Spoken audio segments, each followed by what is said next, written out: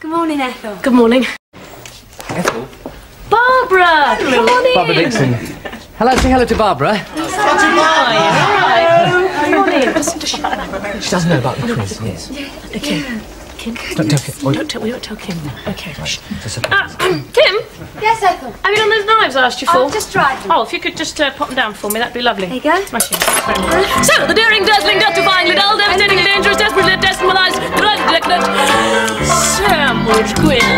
quiz. Okay, thanks very much. Okay, and could I have your name, please? Um, Barbara Dickson. Okay, Barbara, what do you do for a living? Um, I'm a singer. You're a singer, eh? Well, that's lovely. Bit of food, bit of music, music, food of love, all that sort of stuff. That's lovely. Okay, and could I have your name, please? Kim. And what's your surname? Goody. Yeah, I know you're pleased to be here, but what's your surname?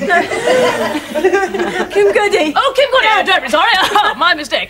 Okay, now then, knives, boys, we're going to go for the first round. Okay, now? Okay. What we're going to do is I'm going to ask you a question. Okay? Either of you can answer. You get that right, you go for a bit of a filling. Filling question, you get that right, round of sandwiches, round to you. Okay? Couldn't be simpler. Okay, now, first question. Fingers on your knives. Don't be nervous. Bit of a nervous giggle there, was it, Barbara? I was trying to look at the question. No, no, oh yes. I can see that setting the style for the show right from the top there, a little bit of cheating ready to go on.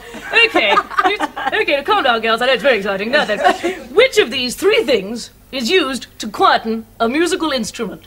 A silencer, a mute, or a muffler? Mute. A mute! Ah!